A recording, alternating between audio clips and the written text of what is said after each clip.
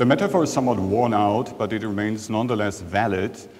Ancient Iraq or Mesopotamia is one of the cradles of civilization.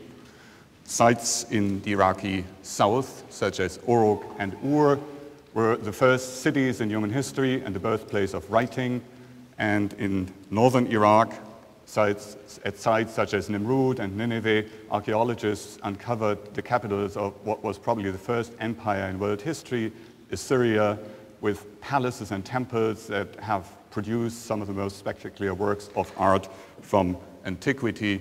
Uh, some of the pieces, as you all know, housed here in London, not in this house here, but in the British Museum. Uh, and Nineveh has also produced uh, the first universal library in human history.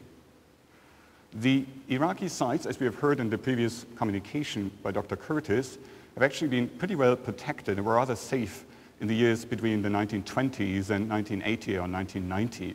Since then, however, due to war and political chaos, they have suffered quite extensively um, and have seen a lot of uh, illicit digging, um, especially after the US-led invasion in 2003.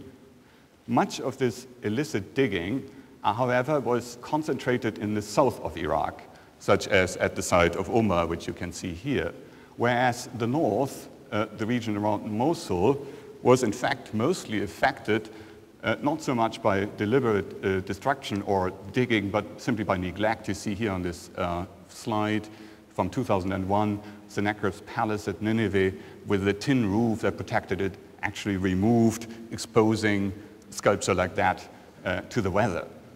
But in recent years, the situation has actually improved um, enabling members of the University of Mosul to engage in new excavations at Nineveh, such as the ones documented on that slide here, which were undertaken between 2010 and 2012. Now, as we've heard before, uh, on June 10, 2014, the Islamic State, or ISIS, uh, invaded the city, took the city of Mosul, uh, and brought all these hopeful developments to an abrupt stop. Um, it immediately uh, closed down the Mosul Museum, turning it into uh, an administrative center to administer the zakat tax. It closed down most university departments, forcing academics to flee the city and to reassemble in Erbil and especially in Dohuk, where kind of Azaz University was created. It also engaged in humanitarian acts that are deplorable, and I won't talk about them, but obviously they are a major concern as well. And they started uh, a campaign of cultural cleansing that was initially directed mostly against Islamic and to lesser degree Christian sites, such as this kind of a, there was a key moment on, on July 24, 2014, uh, the uh, explosion of the uh, mosque of the prophet Jonah or Yunus uh, at the site of Nineveh, which was actually not a Shiite site. It was actually, this is a Sunni site, which shows the degree of radicalism that uh, the organization displays. Um, a video released on February 25th, 2015 has now shown us, um, was the first one to show us that the destructive activities were not just geared against Islamic uh, Christian, but also against pre-Islamic um, sites.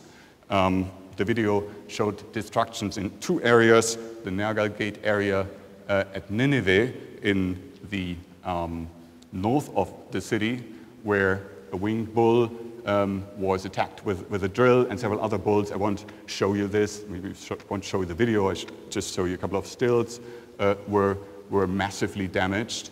Um, and secondly, at the aforementioned Mosul Museum, where a number of uh, Assyrian slabs were apparently destroyed, but more importantly, statues of deities and kings from the ancient city of Hatra, a post-Assyrian site from the Roman Parthian period, uh, were destroyed, were toppled, and then essentially destroyed through the use of sledgehammers.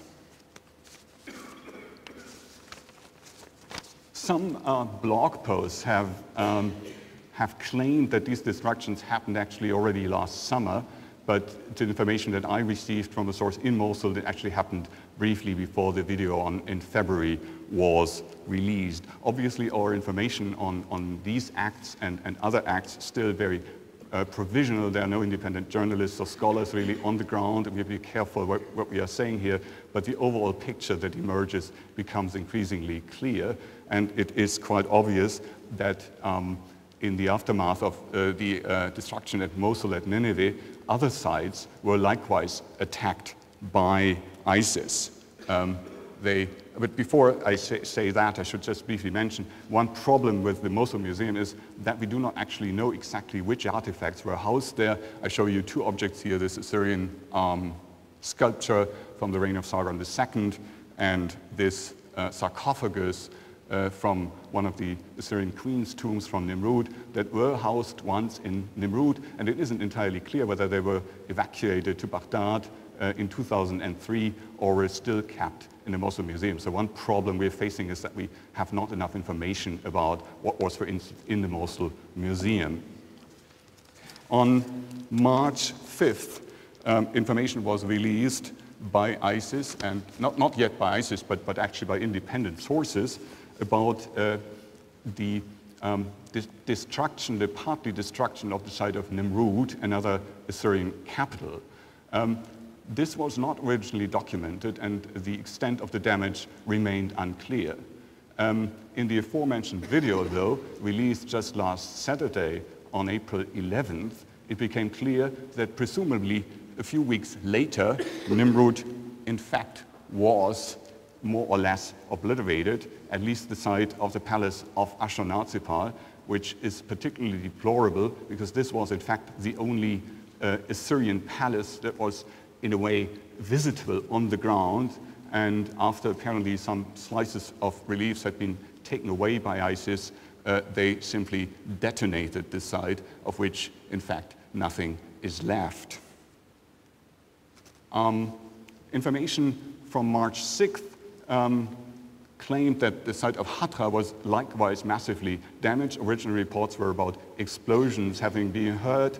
A video released on April 4th doesn't show the dynamiting of the very remarkable temples at that site, but it does show attacks on sculpture such as this hat here, um, and um, that the site's likewise uh, probably massively affected. Finally, there were also reports released on March 8th uh, about uh, destruction at Khorsabad, the last, the third and last uh, great Assyrian capital from the late 8th century BCE. Uh, those reports have not yet been independently verified or not documented in any way, so we know what um, the situation at Khorsabad is.